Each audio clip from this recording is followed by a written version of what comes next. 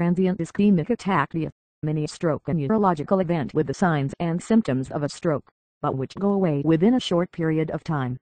Also called a mini-stroke, a TIA is due to a temporary lack of adequate blood and oxygen ischemia to the brain.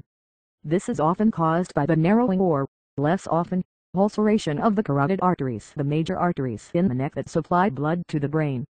TIAs typically last 2 to 30 minutes and can produce problems with vision, dizziness, weakness or trouble speaking. If not treated, there is a high risk of having a major stroke in the near future. People who have a have a 25% greater risk of having a stroke or other serious complication within 90 days. In one study of people followed for three months after a about 10% had strokes, half of them in the two days after their death. This was more than 50 times the stroke rate expected in people of their age. One-fifth of the strokes were fatal and nearly two-thirds were disabling. A TIA is a sign of an impending stroke particularly if the TIA occurs in someone over 60 years of age. The TIA is in someone who has diabetes. The TIA lasts more than 10 minutes. There is weakness with the TIA, or the TIA causes difficulty with speech.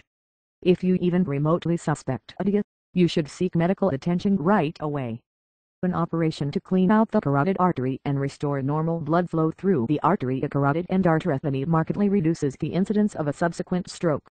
In other cases, when a person has a narrow carotid artery, but no symptoms, the risk of having a stroke can be reduced with medications such as aspirin and ticlopidine Ticlid which act by partially blocking the function of the blood elements, called platelets.